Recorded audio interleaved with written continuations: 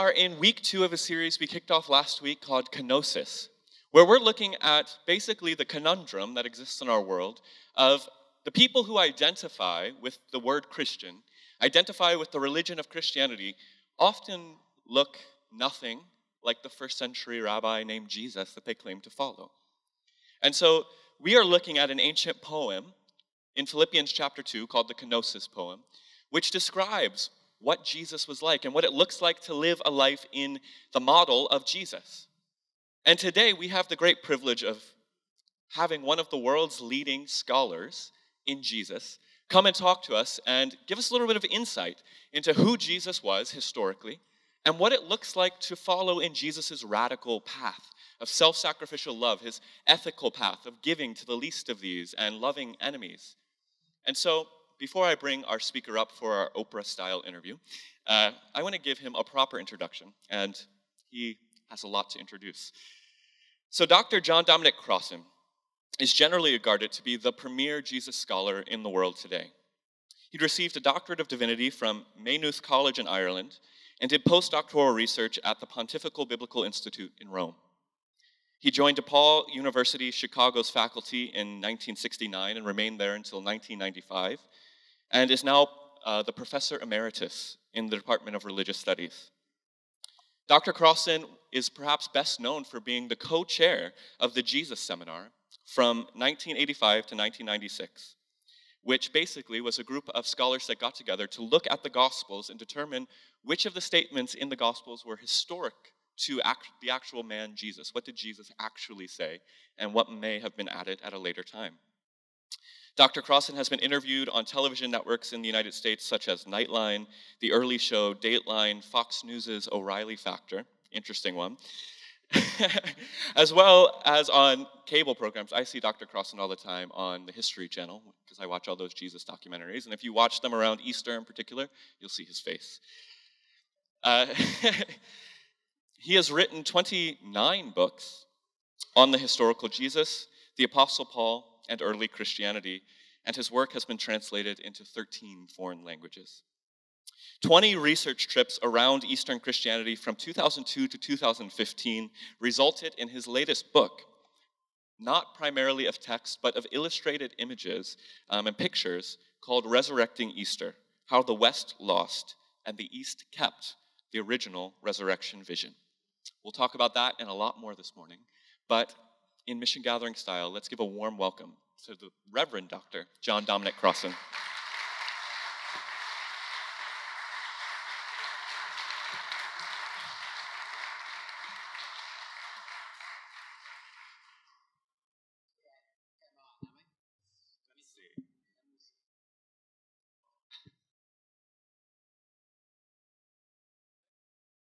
I'm orange.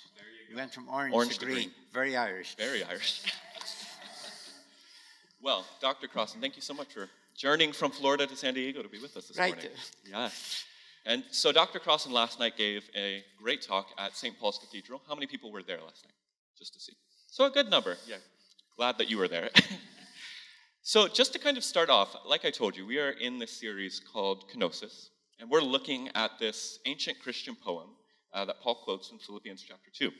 And I kind of tried my best to give a little historical analysis of what that was and what the meaning of that um, kenosis passage was in first century last week. But I figured that the biblical scholar might be able to give a little bit more light on this idea of kenosis and the centrality of that Philippians chapter 2 poem. All right. For, for me, Jesus was a peasant with an attitude. That's it in as short as I can put it after 50 years on it. A peasant with an attitude. But he also claimed that his attitude was the attitude of God. That's the big one. So that means that Jesus had emptied himself of the normal, kenosis meaning empty, the normal violence of civilization. Not just of Roman imperialism, but by living non violently against the normalcy of violence, he got himself executed. Rome was not savage. It didn't execute people every Friday afternoon just for amusement. But if you opposed Rome, if you opposed Rome violently, it crucified you and your lieutenants, your closest followers, in a nice, neat row. It was like state terrorism to let you know your place. If you are a non-violent opponent of Rome, not a philosopher just talking, but what we would call an activist, but a non-violent activist against Rome, they picked off the leader. That was their policy. And if you're at it five years from now, we'll come at your next leader. They didn't waste iron nails and a squad of soldier on nonviolent resistance for all of them. So the most precious thing we know about Jesus, if we knew nothing else, was a good old Pilate got it right from the Roman point of view. Jesus was a nonviolent revolutionary, which means that he emptied himself of the normal reaction that any beaten people would have to strike back. And that many of his contemporaries thought was the obvious thing to do. Now, the big challenge, of course, is to claim that that's the way God operates. Wait a minute. The whole Bible is filled with God punishing you for this and that, and people crying out for mercy and forgiveness. I'm being told in the book of Deuteronomy that if you're good, God will reward you, and if you're bad, God will punish you. So that after a hurricane, you say, What did I do to deserve this? But Jesus teaches that God has emptied God's own self of any intention to punish anyone ever. Despite the Bible's repeated claims that God's major activity seems to be punishing people. That's extraordinary. But that's there in Genesis 1, where God says, You're made in my image and likeness. And in fact, go do whatever you want, but certain things won't work. It's your identity, it's your character, it's who you are. You're in the image of God. By all means, do whatever you want, but don't say, I punished you when things happen. If you think you're a bird and go up to the 30th story of a building, don't say God hit you with the pavement as a punishment. There are consequences to living against our identity. So, the first very page in the Bible, which was written to be the very first page in the Bible, by the way, warns us that we're in God's image and likeness. That's identity. That's who we are. There's no intervention from God to punish anyone, but we are free to deny our identity and take the consequences, or to live our identity and be who we are. That's the emptying of God, so that God is not there, in one sense, in total control of us by our identity, not by punishments and rewards or interventions or any sort of calling us back to the factory to be retooled or anything else. So, despite the fact that the entire Bible is filled with God punishing people, the poor Israelites live on the Levantine coast in the middle of empires. If they spent their life praying on their knees, the only difference in the Old Testament would be they had died on their knees. And to say they're being punished by God when the Assyrians or the Babylonians or the Greeks or the Romans come through? Don't pitch your tent on the interstate and wonder why God hits you with trucks. That's a good summary of the Bible. well, there we go. I never thought that would be the thing getting applause at Mission Gathering. It's great. Uh,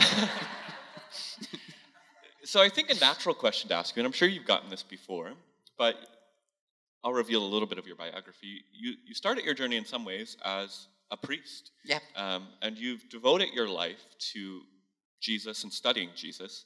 Um, what do you find so compelling about him? Why have you devoted so much time and energy to studying Jesus and speaking about Jesus?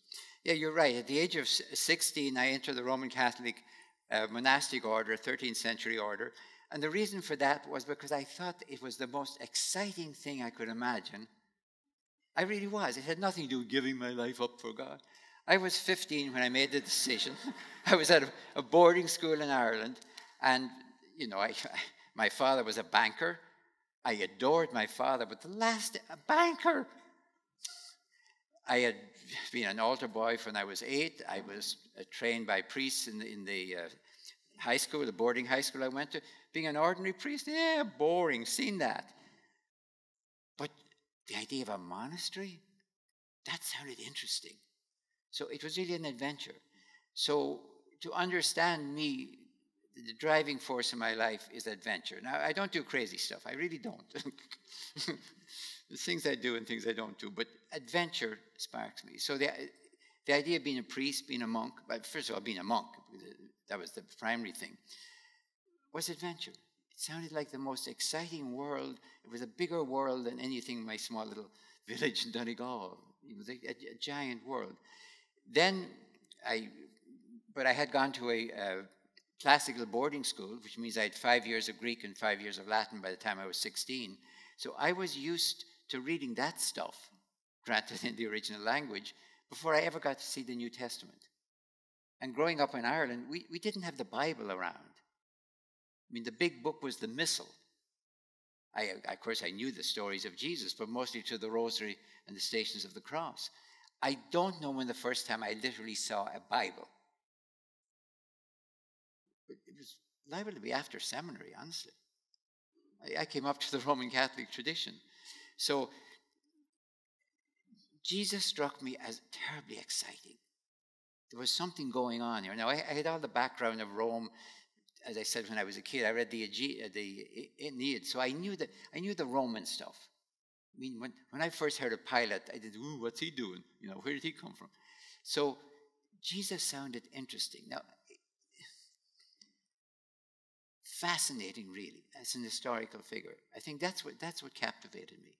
It was like a, an adventure in, in, in, in search or something like that. So I had all the history background there. I knew all about the Roman stuff. So it was a matter of filling out the matrix of Jesus and understanding what he was doing in his own time and place. I didn't start with, with a kind of a dogmatic vision of Jesus. I don't know how that. I started really with, with the matrix, with the world. And then he, he fitted into that world. He made sense. If Caesar was the Son of God and divine and Lord, then to come on and say that this peasant from God forsaken Nazareth, fortunate term, but God forsaken Nazareth, was Lord, Son of God, Redeemer of the world. How do you take the titles of the emperor who lives on the Palatine Hill in Rome and give it to a Jewish peasant from the Nazareth Ridge in Galilee. This must be some kind of a joke. Maybe it's like Saturday Night Live. You know, it's, we're, we're spoofing the whole thing, and the problem is the Romans have no sense of humor. they knew exactly what was said. They're saying, this is not the way to run the world. This is the way to run the world, or not to run the world if you prefer it. That was radical that was profoundly radical and made absolute sense the more I experienced the world. So the excitement that was there from the beginning has done nothing except intensify. Thank God for that. And I haven't grown old and crotchety in the process. old, yes, not crotchety. I love it.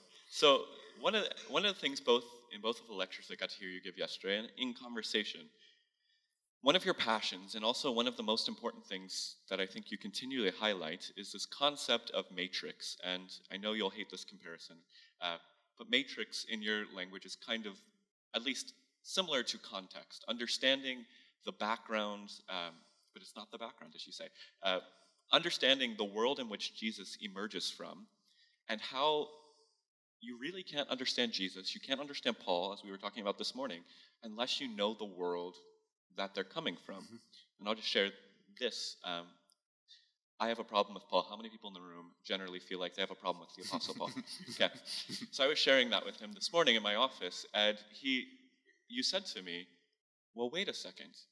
If you actually understand what Paul is doing in the New Testament, if you understand the context that he's speaking in, he makes a lot more sense, and it's not as uh, crazy as a lot of us perceive. Can you talk a little bit about matrix yeah. and that? Okay. I'm using the word matrix not because it's some profound new scholarly breakthrough, but to avoid disjunctive terms like text and context, background and foreground. Because although we all accept that, we're really good at saying, oh, of course there's text and context. Yeah, context. Let's talk about the text. Or background and foreground. Of course they're both important. And let's get to the foreground. It happened to me, National Cathedral in Washington, I gave a lovely talk about the Roman matrix of Jesus and signing books afterwards. A lady came out and gave me a lovely smile. She had no book, by the way. And she said, This was lovely background. And I mean, that was all she said. I mean, and moved on.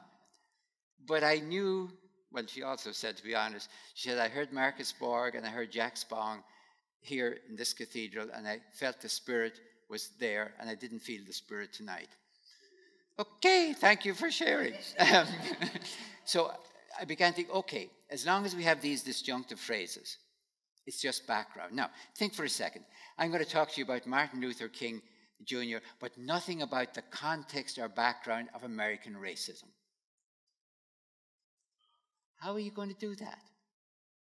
Let's talk about Gandhi, but no background about British imperialism. Well, good luck. You wouldn't be able to understand what's going on. I have a dream. Well, sure, we all have dreams. You wouldn't know what's going on. So, matrix is the common sense of its own time and place. What everyone knows. If somebody says to me, What do you think about Woodward's book? I at least know what they're talking about. I, I, maybe I don't, but if I do, I, I have some idea what's going on. Matrix is common sense. Now, here's the problem. You read a Greek text translated into English from 2,000 years ago, and why on earth would we think we know the matrix? I mean, if you speak to me in Russian, all I'm going to have to say is, I, I mean, I can't say, I don't think I believe that. So anything from Jesus or Paul, you put it back in the matrix of the first century. You say, what did people think he was talking about? Then you make your decision, by the way.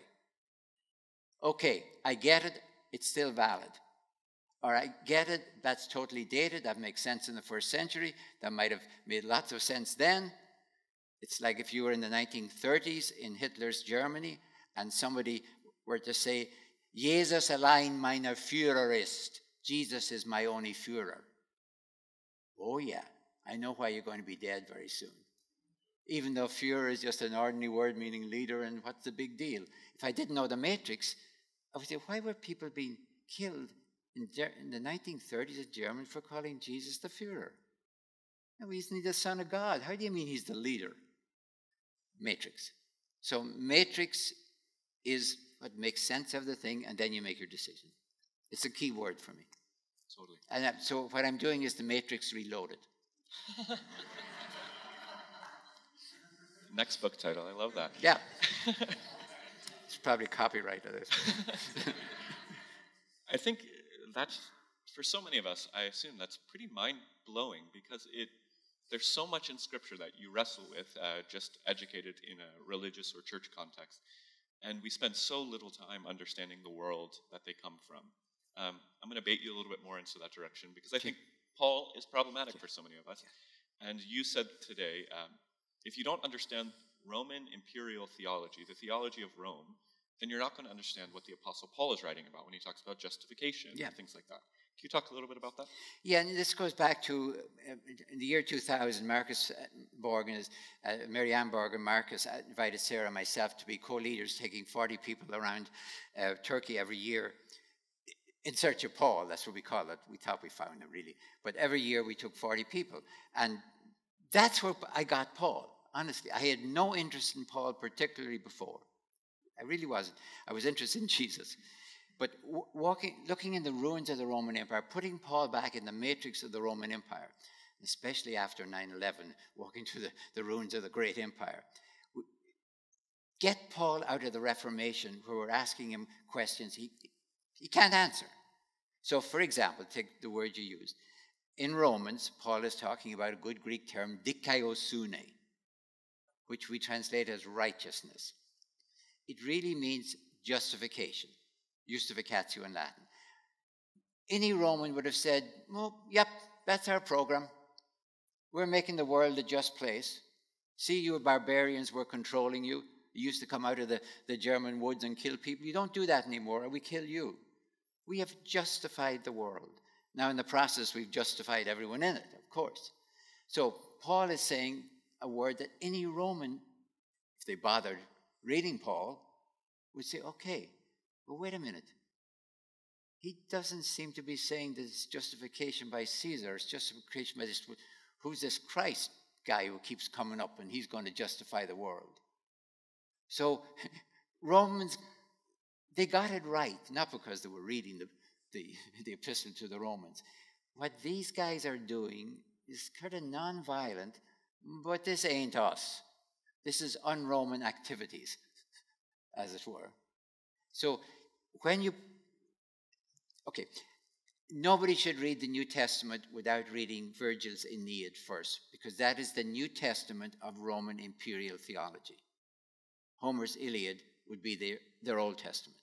So if you look at the Old Testament and the New Testament of Roman imperial theology, then you're ready when you read the Old Testament and the New Testament of the Christian Bible to say, ah, I get it why these guys are going to be dead. These are two different, radically different visions of how to run the world. And one or the other is going to have to prevail. And of course, it starts making sense then. So, what I found is when I put Paul back in that first century and wandered the ruins of Turkey, Turkey is magnificent because there's much more Roman ruins there than there are, of course, in the Jewish homeland in Israel because it was demolished in the wars of 66 and 74. So, but you can see them all over Turkey. Paul, Paul became alive for the first time. That's when I wanted to write about Paul. Before that, I had no interest in writing about Paul. So I got Paul. I didn't do much homework with secondary sources, really. They bored me. They were all talking about the Reformation. I just wanted to read Paul in the ruins of the Roman Empire. Sit in the sunlight at a place like Priene, look at the ruins that said that Caesar, big letter, letters this high, Caesar is the Son of God, the God to be worshipped. That's what Paul is opposing. That's why he has a short life expectancy.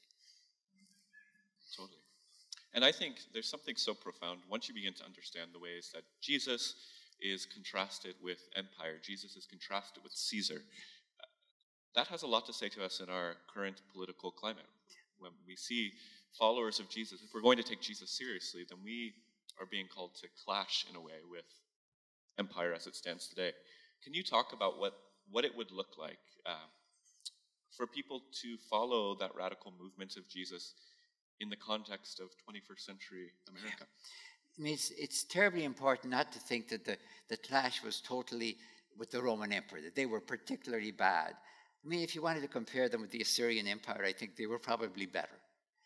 But the pattern of civilization of our species, 70,000 years ago, our species, Homo sapiens, sapiens is the Latin word for wise, which means that we have an oxymoron in our name. We are, we are the wise Homo.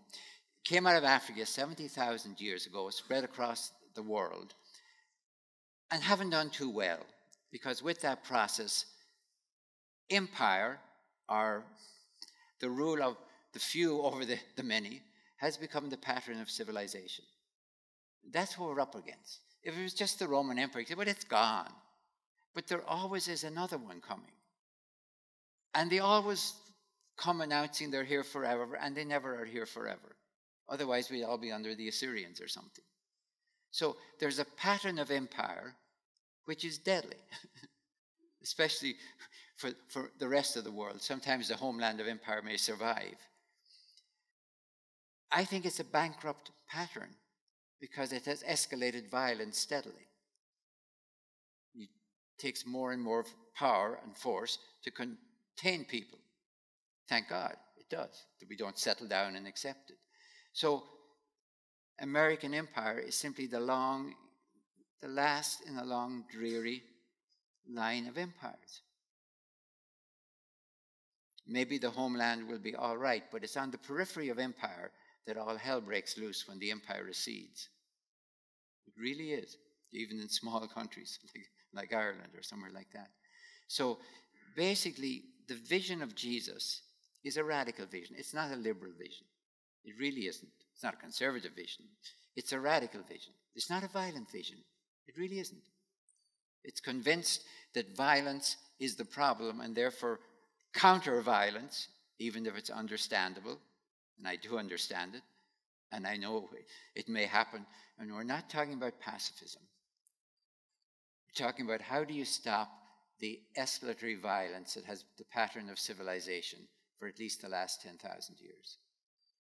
One of the things we showed last night to think about is that it only took us 85 years, I think it was, to get from the Wright Flyer on Kitty Hawk, North Carolina, to the stealth bomber.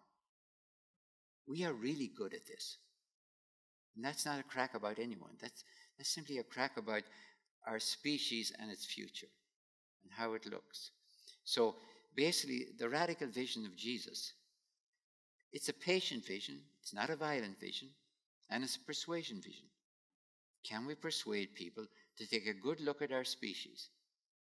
I'm going to say this forget about religion for a moment, forget about Jesus, even, forget about God. Take a look at the record of our species. It's an open record. If you want to say the last 10,000 years of human evolution, since the Neolithic Revolution, or read Genesis 4, where Cain kills Abel, the farmer kills the herder, and builds the first city. Oh, yeah, that's the Neolithic Revolution in a couple of verses. Farmer kills herder, builds first city, violence escalates. It's all in Genesis 4. And I mean that as a literal reading of Genesis 4, not a metaphor. So the radical challenge of Jesus is basically how will the human species survive? That's the challenge. And you can put it in terms of religion, Christianity, or you can put it in terms of human evolution and come up with exactly the same challenge. Will superior violence solve violence? If only we can control enough people everywhere by our superior violence, will we have peace?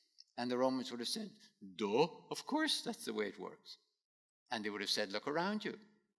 Isn't it working? We have our legions on the periphery, and inside that periphery, everything is peaceful. So, to try and imagine the pipsqueak peasant from a tiny hamlet in Galilee starting a movement to say no to the Roman Empire, which was at the height of its success and could show you peace everywhere because their genius was to put their legions on the periphery and keep peace inside, not keeping the, the legions at Rome ready to go out, but on the periphery. So inside that, everything is peaceful. The Pax Romana. What do you mean, the peace of God? I think Jesus would have said, You guys don't get peace, you get lull. L U L L, lull. And the next round is going to be worse because it always has been. So that's the challenge. And the Jewish tradition knew it because they've been watching empires for 500 years because they all kept coming through their homeland on their way to fight the others. So they had a long experience with empires. So much to unpack there. Uh, but as we're coming kind of to the end of our time, I want to give you one a chance to talk about your new book, Resurrecting Easter. But I want to specifically ask about this question, which is the question at the heart of the book. The book looks at two visions of resurrection the Western vision versus the Eastern vision. And you found that this Eastern vision of resurrection, the way that the Eastern world saw Jesus' resurrection from the dead, was more collective and universal versus the individual resurrection of the West. Can you dig into that a little bit? Yeah, the background, background, the background is simply that, as I said, from 2000 on, we were always going to Turkey every year. We were going for Paul now. We weren't particularly interested at all in Byzantine archaeology or, or iconography or anything, but we were seeing it. We could not because it was everywhere. So we started to see something strange. If you went into a church, there was all the way around the walls there was the life of Jesus, and you looked at all that, you recognized, okay, of course, that's an somebody with wings talking to a woman. That's that's the the Annunciation. Two women hugging. That's the present the. Uh, Mary and Elizabeth, you know, you, every, you recognize everyone. Crucifixion, that looked just like ours. And then you came to the one after the crucifixion and before the ascension. And what you expected from the Western tradition is Jesus coming out of the, the tomb looking rather like an athlete coming out of the gym, you know, all magnificent with, with, with uh, guards at the feet. Instead, you saw, here's what you saw Jesus carrying a small cross, not the great big wooden one, but a real cross with his wounds showing, and he's reaching down and he's grasping the limp wrist of Adam and Eve. Limp of Adam with Eve standing there, or eventually limp of both, and hauling them out of their sarcophagi, out of their tombs. And that's Easter. What on earth does that mean? Adam and Eve ain't two people. Adam and Eve is the human race. So if Adam and Eve are being raised from the dead, Hades, he's uh, good old Hades is the gatekeeper of, of Hades, not of hell, but of the place of the dead, and he's standing behind the doors, kind of G- keeping Jesus out. And Jesus comes right in and kind of flattens him under the doors. So the, the bifold doors of Hades come out like a cross. And poor old Hades is looking up. Um, it's almost like saying, nothing personal, you know, I'm just liberating people from prison. So, well, it's, kind of, it's like kind of the good old A team, remember, way back. Um, that's the image you're seeing. Jesus, head is on the ground, kind of flattened. The human race being liberated from death. Now, the question, when we finally got it and saw it enough, you know, we'd, we, we'd gone to Russia, we'd gone to Egypt, we'd gone everywhere from France to Syria. 2010 was the last year we, by look, we were able to get into Syria. We found this image everywhere. Everywhere. And finally, this is Eastern Christianity's Easter.